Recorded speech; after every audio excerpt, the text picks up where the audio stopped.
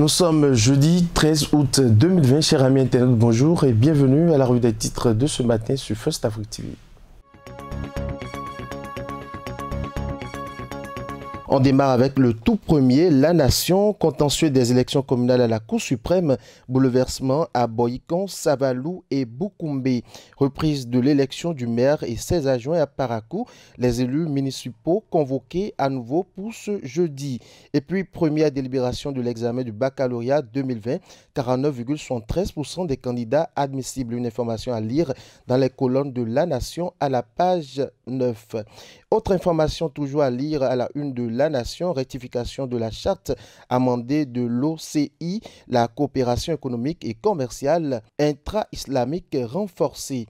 Autre titre, on reste toujours avec la Nation, marché chinois, les mauvaises pratiques mettent à mal le soja béninois selon Epiphane Le Béninois libéré présidentiel 2021, Séverin Quenom lève un coin de voile sur la candidature de Talon après la fermeture des structures de marketing de réseau par le gouvernement ivoirien.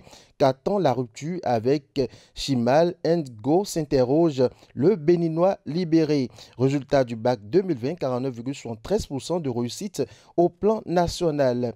Covid-19, campagne gouvernementale pour le respect des mesures barrières, des étiquettes à imprimer pour sensibiliser les populations. Un dernier titre avant de boucler avec le Béninois libéré. Conseil municipal de Parakou, le CA Tchabi Seko Idrissou n'est plus.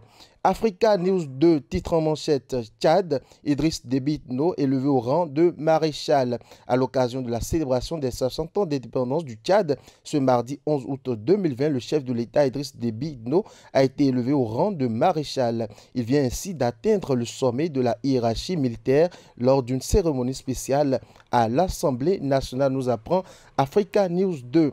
Autre information toujours avec euh, ce quotidien Côte d'Ivoire présidentiel, Simone Gbagbo plaide pour le rétablissement des droits civiques de son mari. Une information à lire dans les colonnes de ce quotidien.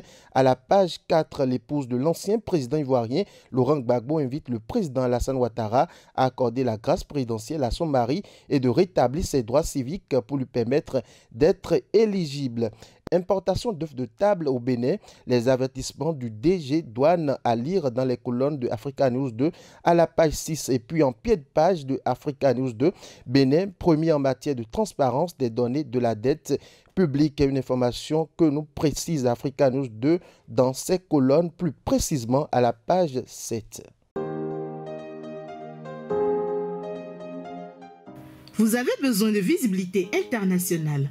Vous voulez vous faire connaître vous êtes entrepreneur et vous voulez faire connaître vos produits à l'échelle internationale. Une seule adresse, First Contact Afrique. First Contact Afrique, c'est votre nouveau magazine panafricain qui reflète le visage inconnu de personnalités et d'entreprises. Visitez notre site web www.fcafrique.com sur Facebook, YouTube et Twitter. Retrouvez-nous sur First Afrique TV. Nos contacts 00229 61 50 84 63 0033 689 032 411. First Contact Afrique, c'est l'Afrique qui gagne. First Contact Afrique, c'est l'actualité autrement. C'est la fin de cette revue. Merci de nous avoir suivis. Surtout, n'oubliez pas de vous abonner à First Afrique TV et d'activer la cloche de notification. Excellente journée à vous.